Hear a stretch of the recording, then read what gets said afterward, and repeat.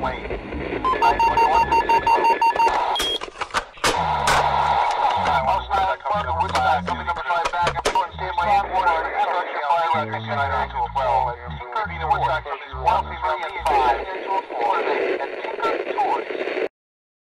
हमारी आज की कहानी इस सीरियल रेपिस्ट के बारे में है, जिसने 2500 से ज़्यादा लड़कियों को शादी का झांसा देकर इनका रेप किया। इसका जिम्मेदार सिर्फ़ मुजरिम नहीं होता, बल्कि विक्टिम भी होता है, क्योंकि दो वक्त की रोटी कमाने की भाग दौड़ और इस दुनिया के नित नए सपनों को सच करने की कोशिश में अक्सर लोग अपनी असली जिम्मेदारियाँ निभाने में चूक जाते हैं। मैं यही चाहती हूँ की ये आदमी बाहर नहीं आए।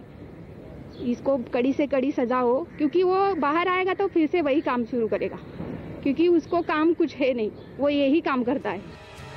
नाम, राहुल पाटिल। पहचान, बड़ी कंपनी में नौकरी और करोड़ों की प्रॉपर्टी। फैमिली बैकग्राउंड, बिन माँ बाप की संतान, अमेरिका में बहन। ये वो डिटेल है जो इस फ्रॉड ने कई मैट्रिमोनियल साइट्स पर दे रखी थी।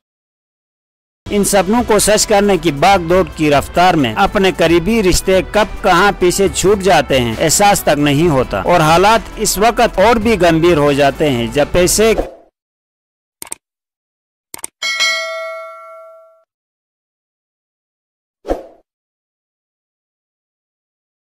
कमाने की भूख, ज़रूरत से ज़्यादा की हदें छू लेती है। और थोड़ा और थोड़ा और की ये सिक्कों की खनक एक दिन बेकाबू हो जाती है और इस इंसान को पलटने का मौका तक नसीब नहीं होता। और इस बीच इसके अपने कप कैसे बर्बादी के समंदर में डूब जाते हैं, पता भी नहीं चल पाता। और पीछे रह जाता है अफसोस, जिसको कुछ लोग ताकत में बदल देते हैं और कुछ लोग हमेशा हमेशा के लिए तबाही की इस राख पर बैठकर ज़िंदगी भर शौक मनाते हैं। हमारी आज की कहानी भी कुछ ऐसे ही किरदार के गिर्द घूमती है। एक शैतानी दिमाग पैसे की लालच में ये भी भूल चुका था कि जुर्म की दुनिया का अंत इससे कमाए गए पैसों की अयाशी से ज़्यादा दर्दनाक होती है। और दूसरी तरफ़ थी एक लड़की। जो इसने मेट्रोमोनल साइट में अपनी पहचान बताई थी, ये अपने को बहुत बड़ा आदमी, बहुत बड़े खानदान का आदमी बताता था। और उस हिसाब से वो लड़कियों को अप्रोच करता था।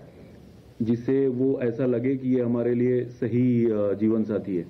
और उसके बाद अपनी बातों में उसको बरगला कर और उनका शोषण करता था। जिसे इस वहशी ने बाकी 2500 लड़कियों की तरह बर्बाद कर चुका था, मगर इस लड़की ने अपनी इस तबाही पर बैठकर मातम मनाने के बजाय इस मुजरिम को दुनिया के सामने बेनिका करके जेल की सलाखों के पीछे डालना ज़रूरी समझा। मुंबई में पहले तो वो डर लगा थोड़ा सा कि वो इतना पहुँचा हुआ है, कुछ कर सकता है, कुछ भी कर सकता है। फिर बाद में सोचा कि ऐसे भी उसने मेरी लाइफ बर्बाद कर दी है वैसे भी कर दिए अभी आगे जो होगा, वो होगा। ऐसा पकड़ के मैंने उसको पुलिस में यहाँ आके, यहाँ मेरा, मैं यहाँ पे रहती हूँ तो यहाँ आके मैंने कंप्लेन कर दी।